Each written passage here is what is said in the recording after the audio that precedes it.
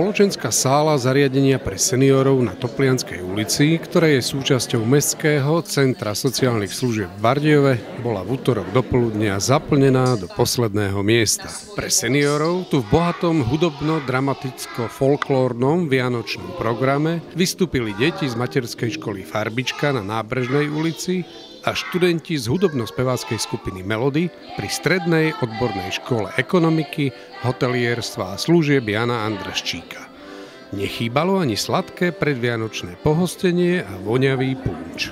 Ide o projekt, ktorý vypracoval eh, Domov sociálnych služieb Bardejové v spolupráci s komunitnou nadáciou a ide o to, že eh, naši žiaci spolu so starkými zdobili medovníky, minulý týždeň, myslím, že to bolo, a tento týždeň ich takto slávnostne budú e, rozdávať medzi tých starkých, plus e, nejaký kultúrny program sme si pre nich pripravili. Dnešný deň sme završili tým práve kultúrno-spoločenským podujatím, to naše kvázni trojdnie, to znamená napečenie, perničkov, zdobenie a takisto dnes sme vlastne pripravili také kultúrno-spoločenské posedenie pre všetkých našich klientov, ale hlavne aj seniorov, ktorí sú osameli v domácnostiach.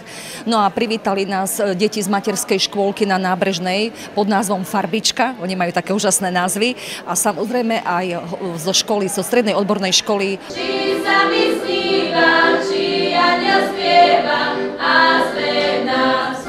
No. Je to nádherná akcia a veľmi, veľmi pekne ďakujem a musím pozdraviť práve komunitnú organizáciu, takisto organizátorov, ktorí sa tomu podujali a ako predseda okresnej organizácie jednoty dôchodcov veľmi pekne im ďakujem za to, že nás pozvali, hlavne tých, ktorí sú osameli, lebo si to, dá sa povedať, zaslúžia už len preto, aby tie vianočné chvíle sa im zdali čo najkrajšie. Táto akcia, myslím, že v tomto čase adventu bola tu vytvorená krásna, pekná, uh, už taká vianočná atmosféra, ktorá, ktorá určite povzbudila a potešila našich, e, našich seniorov, lebo prakticky bolo to pre nich pripravované, takže ja sa tom teším a bol som rád, že, že som mohol byť tu prítomný.